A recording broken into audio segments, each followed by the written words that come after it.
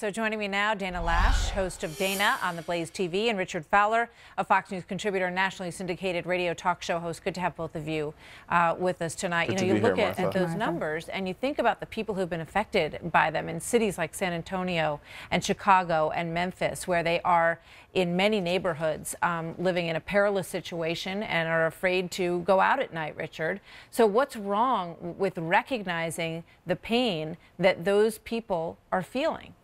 I don't think there's anything wrong with recognizing the pain. I think the job of inaugural addresses that we've seen in the past is to in inspire Americans to do more. I mean, George W. Bush did in his speech, Ronald Reagan, this idea that we are aspiring to be this great nation. And, and I think where Donald Trump missed the mark on this speech, I thought it was overall a good campaign speech, but it missed the mark when it comes to defining what make America great again is. And when you think about the word carnage, which according to Webster's means the killing of mass people, uh, I don't really know if carnage is the right vocabulary word I would use if I was the Donald. Well, I wonder if you were a family who had lost a child to heroin overdose, or if you lived right. in a community where you can't go outside at night um, because of the violence that, that's happening in your streets, Dana. I, I think there are plenty of people in this country who might feel comforted that instead of platitudes on that stage that day, they heard what they understand as their reality and something that they want fixed.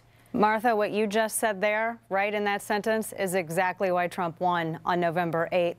People are tired of platitudes. They're tired of cutesy little speeches where everyone talks about hope and change. And instead, after the confirmation, you get a nightmare, an eight year long nightmare, where people are losing their jobs and the labor participation rate has slid by 4%, where you see millions who have lost access to specialists. They've lost their health care completely, or their premiums have increased to the point where they can't afford them because of the Unaffordable Care Act, where they have seen jobs be crushed, where they have seen manufacturing decline. It has, by all accounts, by all of these Americans who have endured this, been a carnage for them. They have seen their dreams killed. They've lost their children to drugs. It has been incredibly awful. Yeah. And that is why there were so many people and Democrats. Let us not forget that one of the huge voting blocks that turned out for Donald Trump on November 8th were blue collar Democrats who had long been counted counted as a base voter I mean, by the I, I Democrat mean, Party. You know, this is why you make happened. Great points. You, you, know, but when you look at the snarkiness that we saw in some of the response to this, Richard,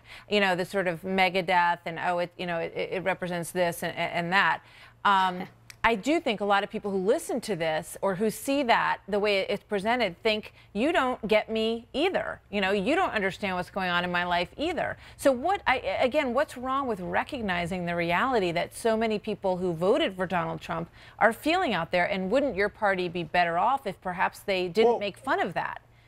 I, I, don't think anybody from, I don't think you've heard any Democratic elected official make fun of that, uh, right? But I, here's the truth. The truth is that people want to aspire to something. And beyond that, I think what Democrats are looking for, Trump voters and people who didn't vote for Trump are looking for, are real solutions to the problem. Trump didn't outline any of those solutions in his, what quote unquote, make America great again means. He didn't tell us how he's going to fix it. He talks in complete and total platitudes. I'm going to build a wall. Nobody knows how he's going to build it. Well, Richard, Nobody knows where the respect, wall is going to go. And based on nothing other than what we've seen the last couple of days, uh, uh, wait a minute. Seen, wait a minute. You know, action after action after action. So that we I mean, haven't that's seen, a little tough. We're still wait. We're still waiting for them to say to tell us what this quote unquote Obamacare replacement is going to be, and they haven't done that. They've yeah, talked about platitudes. I, I, have an idea on It's going to be choice. It, it's all, it's going to be choice. It's going to be this. It's going to be that. Vocabulary Richard, words don't mean anything. I have a great idea as to what the replacement would be. Why don't you go back and read all of the Republican but that's bills not a bill. that were filed on but it? There's no bill no, no, filed no, no, now. because that's where a lot of it's coming from. Don't talk right. over me because you're afraid Donald, of it. Republicans filed it, and Nancy Pelosi and, and Nancy Pelosi and Harry Reid allowed them to die because the they, thing. they didn't want to bring here's, it forward. Here's, here's the thing. American Carnage sounds like a ministry band name, by the way. American carnage means American death, according to Webster. Well, he was pointing out some realities uh, that people do experience. Um, it's an um, uncomfortable, it's an inconvenient much. truth. Richard and Dana, thanks, thanks guys. We'll talk to you uh, next time.